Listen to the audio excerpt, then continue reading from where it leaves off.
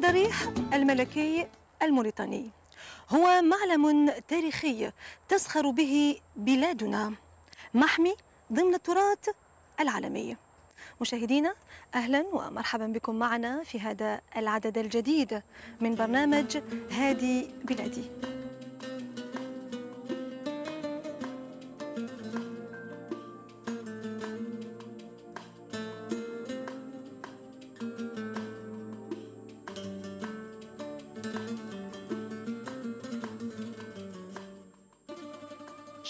شكل الرواق مستدير وهو يدور من الجهة اليمنى نحو اليسرى فيرسم دائرة تكاد تكون تامة.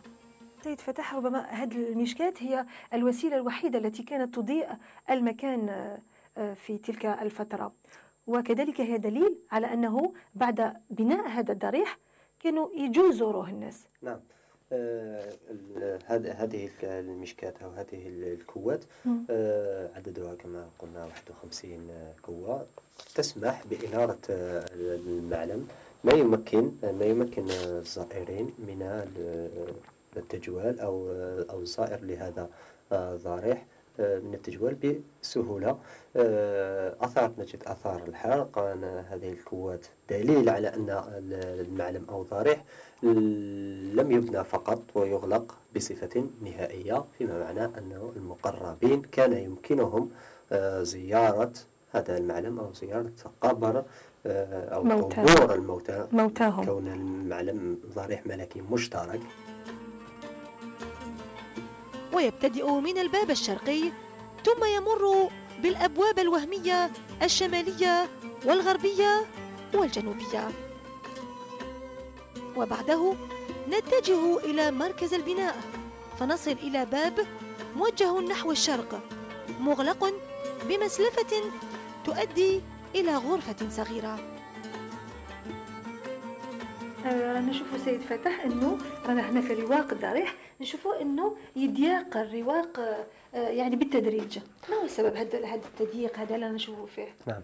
الرواق عنده تقريبا عرض آه، واحد انطلاقا من غرفة أو بهو الأسود وصولا إلى هذه النقطة بالذات وين يتناقص نوعا ما العرض آه، تاعو. الرواق آه، الرواق ما عطيناش هذا الرواق آه، طوله حوالي 141 متر. ذو ذو عرض ذو عرض حوالي 2.5 فاصل صفر خمسة متر. وصلنا إلى هذه النقطة وين يوصل حتى 1.9 1.90 متر آه، عنده ارتفاع يصل إلى حوالي 3 آه، متر نعم. يشكل انطلاقا من نقطة آه، من نقطة النقطة الأولى ومن بهو الأسود عبارة عن دائرة عن دائرة يدور كامل حول المعلم وصولا تقريبا إلى النقطة إلى النقطة التي انطلق منها لكن هي عبارة عن دائرة متناقصة متناقصة القطر. نعم. في هذه النقطة بالذات وين نشاهدوا باللي هذا الرواق راح يكسر تلك الدائرة اللي يدخل ما, ما يحش يخرج في النقطة اللي يبدأ منها باش ما يخرج في النقطة اللي ابتدأ منها. يكسر تلك الدائرة وصولا إلى آه، الغرفة الجنائزية اللي يتم نعم، الولوج نحن- إليها لا، راح يتم الولوج إليها عن طريق باب باب ذو مزلاقة يعني الباب هذاك يمكن يمكن رفعه. هو عبارة عن حجارة. يمكن رفعها وخفضها باستعمال أدوات يدوية. نعم. القرب نعم. نحن الآن في قلب هذا المعلم التاريخي هذا الضريح الضخم. وتحديدا أمام هذا الباب الضيق المسمى باب ذو مزلقة والمؤدي إلى الغرفة التي تأتي قبل الغرفة الجنائزية.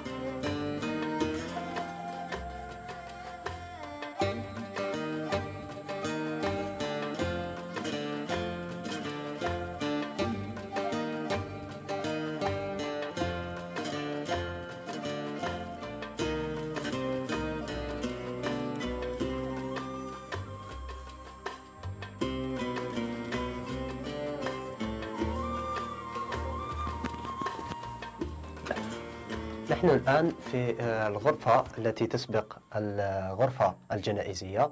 آه، هذه الغرفة أصغر من الغرفة الجنائزية آه، مقاييسها حوالي 4 متر طول 1.50 متر في عرض. وارتفاع يصل تقريبا إلى 3 متر. هي غرفة فاصلة ما بين الممشى والغرفة الجنائزية. يتم الولوج إليها من باب ثالث ومنها إلى الغرفة الجنائزية كذلك عن طريق باب آخر آه، بني بنفس طريقة البناء. آه، فيما يخص تقنية البناء هي نفس الطريقة دائما آه، عبارة عن حجارة كبيرة المنحوتة.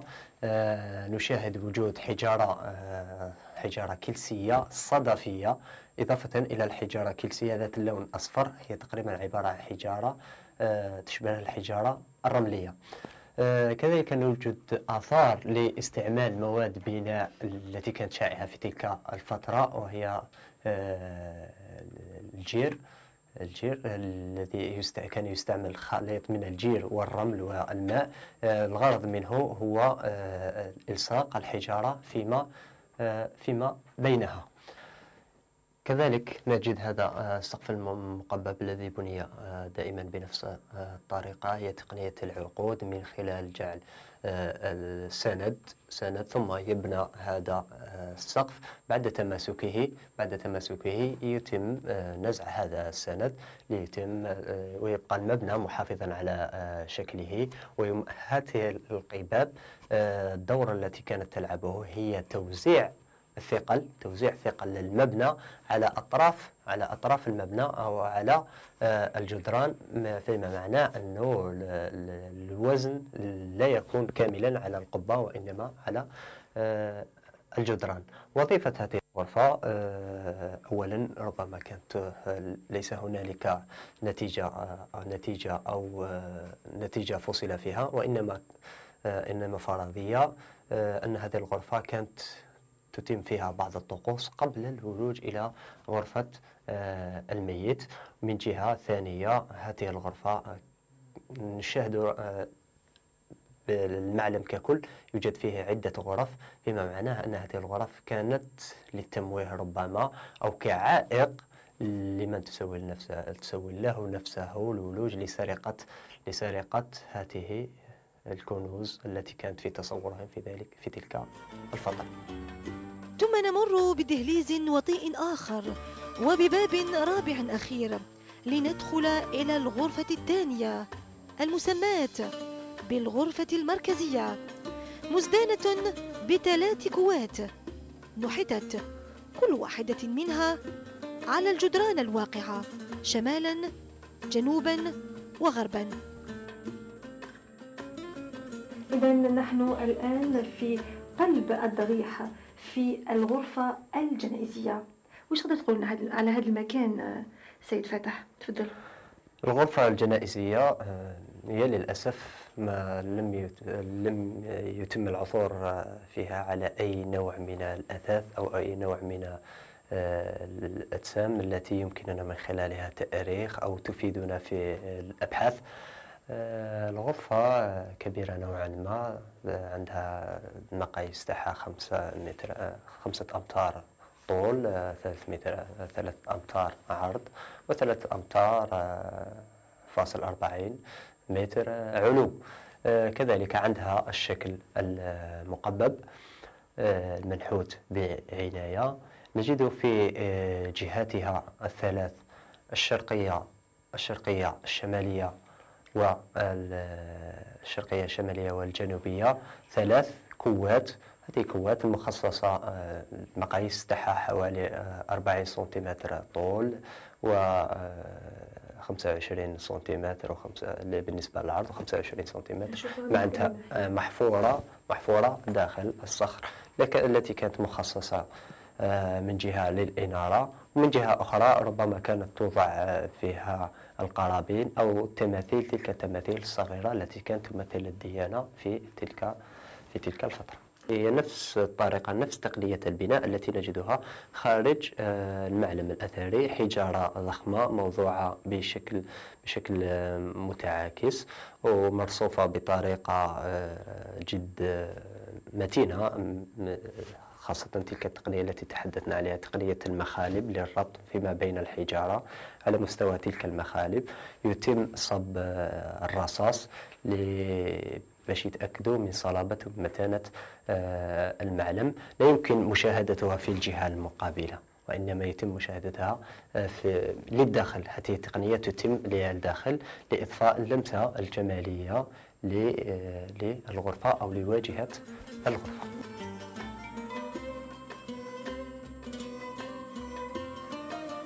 قلب البناء لم يعثر فيه الباحثون على أي شيء من الكنوز المزعومة والتي طالما تحدث عنها الناس.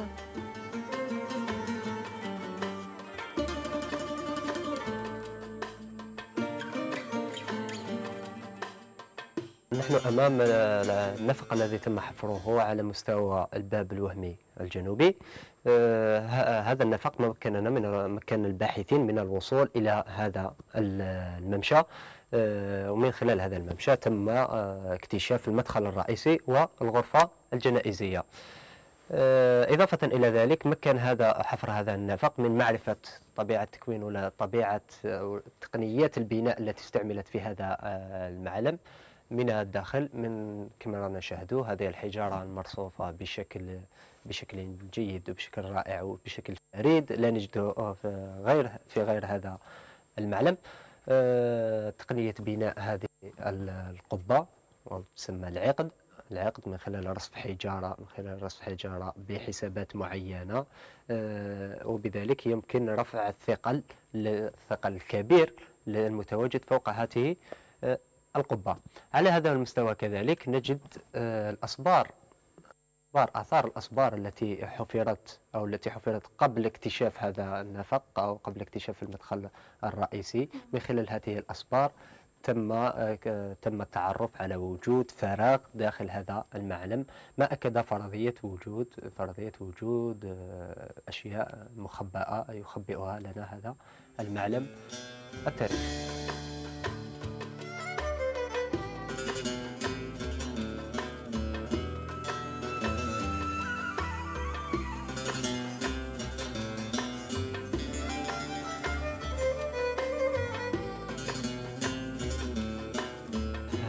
هذه هي إحدى تلك الثقوب أو الأصبار التي أجريت آه، آه، على مستوى على نهاية آه، المعلم.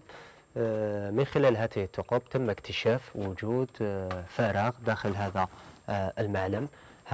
داخل هذا المعلم. من خلاله تم حفر هذا النفق في في الباب الوهمي الجنوبي. قد يشعر الزائر بشيء من الأسف والحيرة. حينما يعتبر ذلك البناء الهائل العظيم الضخم وحينما يفكر بما شاهده في مساره هذا من دهليز ورواق وأشياء أخرى تستدعي الغرابة والاندهاش داخل داخل داخل هذا المعلم وفي هذه النقطة آه، بالتحديد. تم آه، إقامة حفرية من خلال حفر النفق آه، للوصول أو لاكتشاف ما يحويه هذا المعلم من أسرار من أسرار. هي هو نفس النفق الذي حفر من الجهة الأخرى في الغرفة الأسود لكنه لم يستكمل ولم يؤدي إلى نتيجة إلى إلى أي نتيجة؟ كما تشاهدون آه، الآن هذا هو داخل داخل المعلم مكون من حجارة كبيرة اللي هي عبارة عن واجهة واجهة لهذا النفق. ما بعد هذه الحجارة الكبيرة؟ نجد آه، حجارة طبيعية تسمى بالردم آه، موضوعة بشكل عشوائي وهي خليط من التربة وهذه الحجارة الطبيعية لملء تلك الفراغات أو لملء باطن المعلم آه، ككل. آه، هذه الحفريات هي آه، كالحفريات الأخرى التي وجدت النفق أو الثقب اللي وجد في الباب الجنوبي الوهمي. الغرض منه هو اكتشاف هو اكتشاف ما يحمله هذا هذا المعلم من خبايا أي ما معناه يمكن وجود غرفة سرية أخرى غير الغرفة الجنائزية التي وجدت لكن عملية الحفر آه، نقدر نقولوا باءت بالفشل ما وصلتش ذلك التصور اللي كان أو ذلك الاعتقاد اللي كان آه، في نظرهم.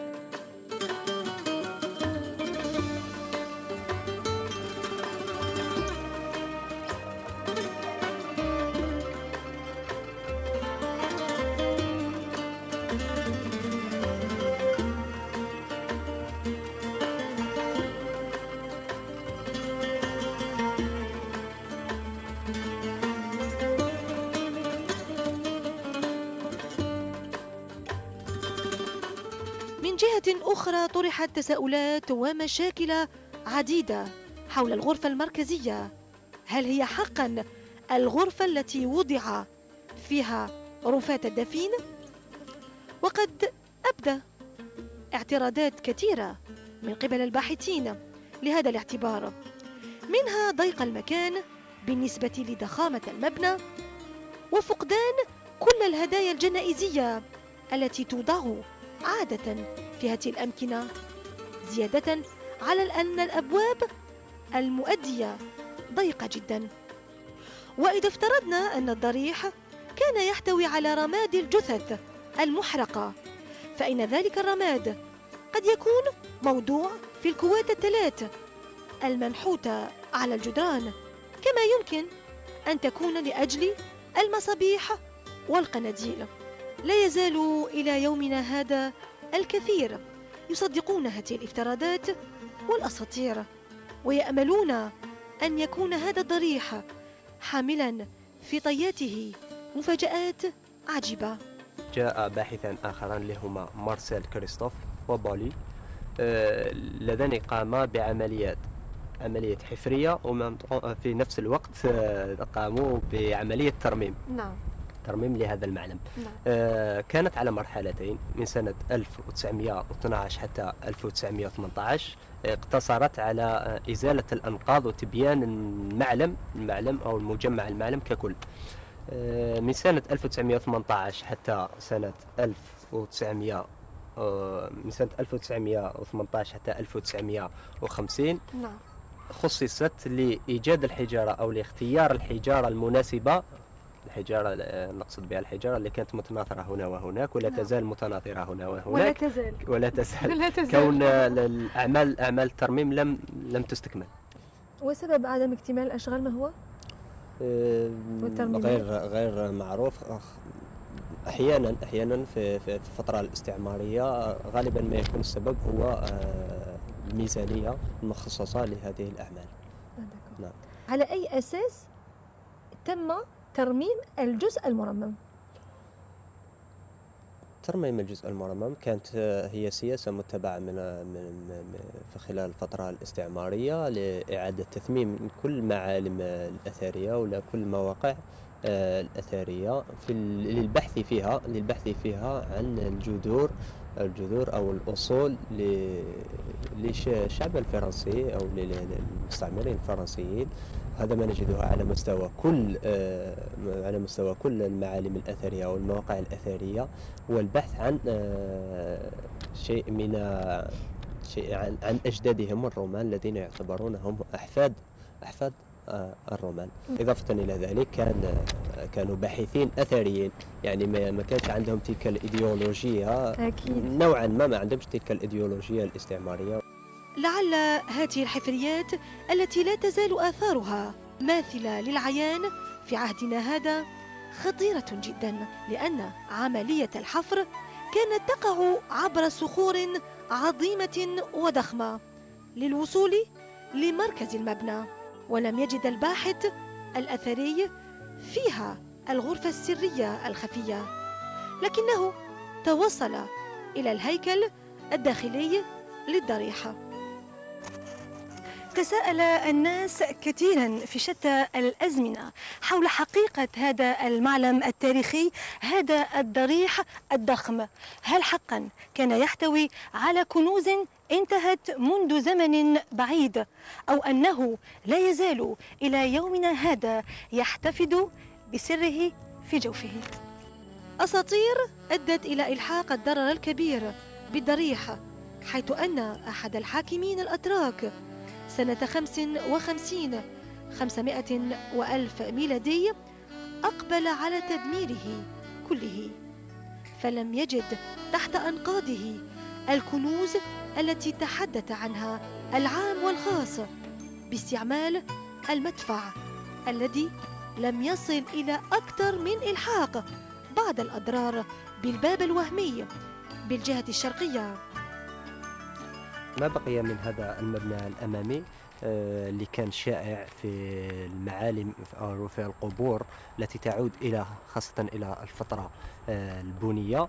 آه، هو عبارة عن ساحة مبلطة كما رانا نشوفوا لكن في السابق كان الارتفاع تاعها أكثر من هذا. ما بقي منها سوى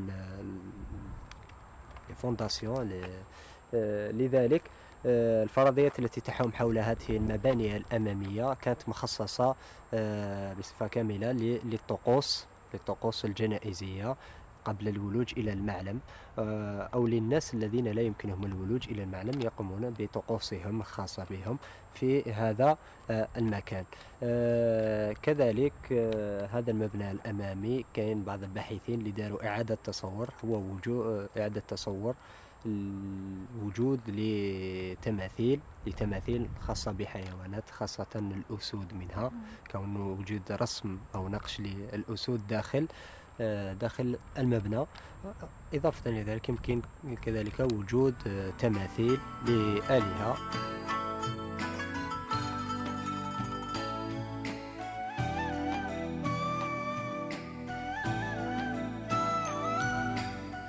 كل الأبحاث تحاول الكشف عن سره ونزع القناع عن وجهه.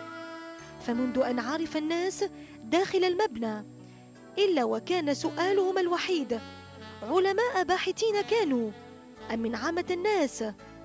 هل يحتوي الضريح على غرفة خفية سرية؟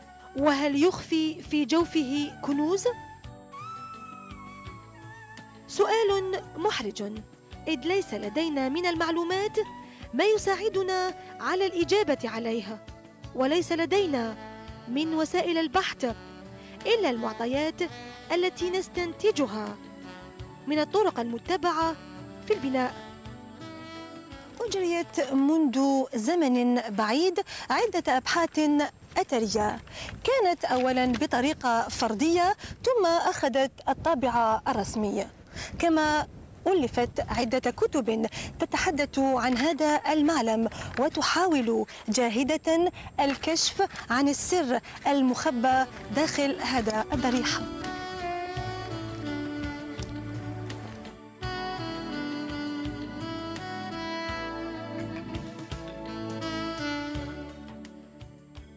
والترميمات التي أجريت كانت قبل الاستقلال من قبل المهندس المعماري والباحث في الآثار التاريخية كريستوفيل حيث قام بأعمال ترميم في واجهة الضريحة وكان لها أجمل الأثر. وطبعا انبهار كبير من قبل الباحث والمهندس في تلك الصخور التي نحتت نحتا فنيا دقيقا فالحجارة كانت تشد شدا وثيقا. لتؤدي لعمل متقن لا مثيل له. أنجزته أيادي مهره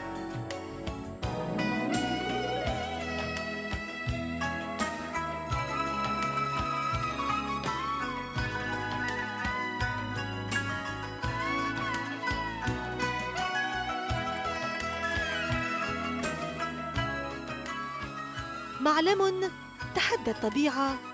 فصمد لقرون عديدة.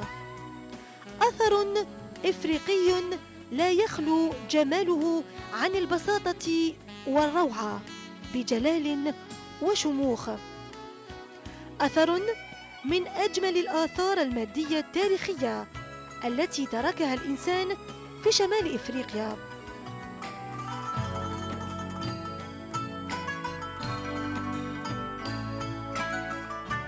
شجرة باسقة كبيرة التفت حولها الصخور الهاربة من الضريح لتؤمن مكانا بديعا وسط هدوء وسكينة يفرضها المكان. كان يا مكان في قديم الزمان وهذا قبل مولد سيدنا عيسى عليه السلام. دار الحرب بين جدادنا والرومان في هذا المكان. اليوم لو كان تروح تشوف تقول اضرب فيها البركان ما بقى منهم ولا بنيان. قيد الحرب كان اسمه يوبا الأول في ذاك زمان. حبوا يحكموه ويجروه الروما ولكن فضل يموت هنا ولا يتهان. ما تخلى وليده صغير بدون حنان. الفراق صعيب يا إخوان. أخذوه الرومان في عمره خمس عوام. رباوه مع كليوباترا. الاثنين كانوا من الأيتام. حبها وتزوجها رغم أنها كبيرة عليه بعوام. رجعوا لبلاد جداد وحكم فيها عوام. بعد ما توفات زوجته بقى حيران وكان عالم كبير وفنان. انفق مال كثير على قبرها اللي شيدوا في هذا المكان. لا شك أن هذا الضريح ضريح أسرة ملكية نوميدية أو موريتانية. أنفقت أموالا هائلة في سبيل دفن أعضائها. في إطار لا يختلف عن التقاليد والعادات السائدة في تلك الفترة. بهذا مشاهدينا نكون قد وصلنا إلى نهاية عدد اليوم من برنامج هادي بلادي. نلتقي في الأعداد المقبلة ومواضيع جديدة. إلى اللقاء.